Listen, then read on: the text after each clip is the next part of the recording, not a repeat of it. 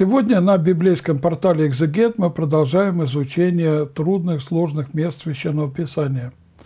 И сегодня мы рассмотрим такой вопрос.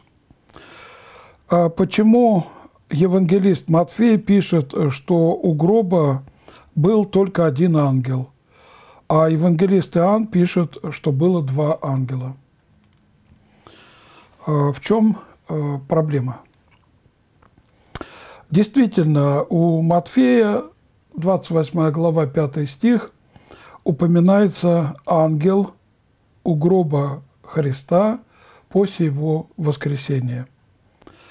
А в то же время Иоанн говорит, что там было два ангела. Это Евангелие от Иоанна, 20 глава, 12 стих. А как э, разобраться? Предлагается следующее решение. Матфей не утверждает, а, что был только один ангел. Иоанн говорит, что их было двое. А там, где есть э, два, всегда есть один. Ну, это как бы очевидно. А критику придется добавить слово «два» к сообщению Матфея об одном – тогда это было бы уже а, противоречие внутри а, текста одного Евангелия от Матфея. Но в этом случае проблема не в том, что на самом деле написано, а в том, как а, критик интерпретирует этот текст. Как в случае с двумя бесноватыми, мы видим – и уже распознали, почему что в некоторых случаях речь идет как бы об одном, потому что он доминировал и он говорил.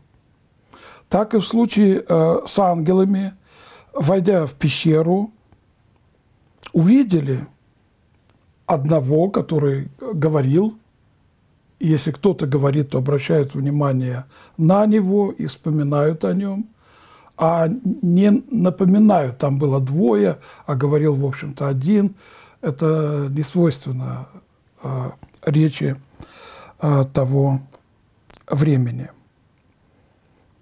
Поэтому Матфей э, сосредотачивается на том ангеле, который, обратив речь к женщинам, сказал «не бойтесь».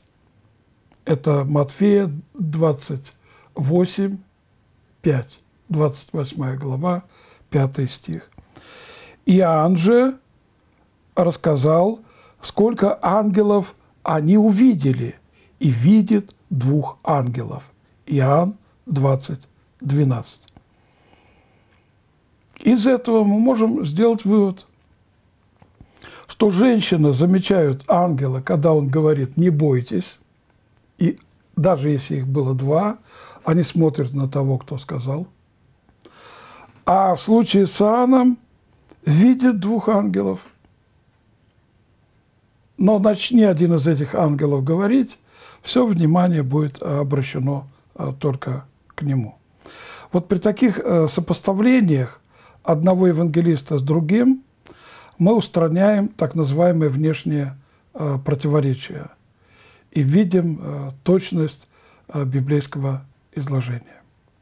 Подписывайтесь на библейский портал «Экзегет», чтобы вам вовремя получать информацию о наших беседах.